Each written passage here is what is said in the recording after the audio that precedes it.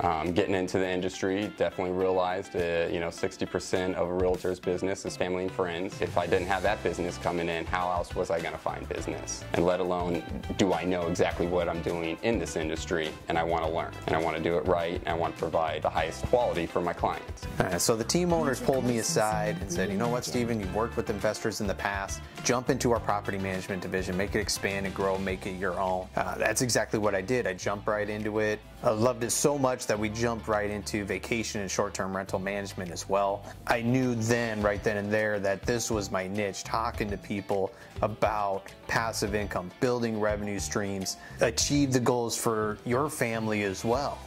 I had not been very consistent in the beginning. I kind of was like, let's do this and let's try this. And instead of kind of sitting down and focusing on one thing at a time, I had to sit down and really think about what I wanted and who I wanted to be in this business. So I flipped the switch. Literally, it took a conversation with my mentor, sitting down and having that discussion with myself on who I wanted to be what I wanted to do, and just letting myself do it and not being afraid and really just getting out of my own way. I ended up with a very large company. There was a lot of online training and a lot of scripts that had to be done exactly how they wanted it, and it just didn't feel right to me. Even when I was talking to the clients, it felt kind of salesy and it just really wasn't where I felt I was being true to myself and how I wanted to sell real estate. So when I decided to change over to this team, it was kind of a no-brainer and I went from feeling lost and maybe that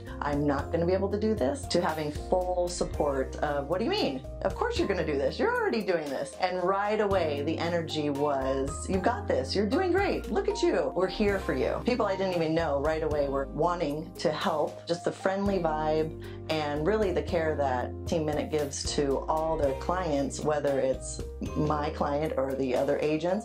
We are all here to help each client as if they were our own because we are a team.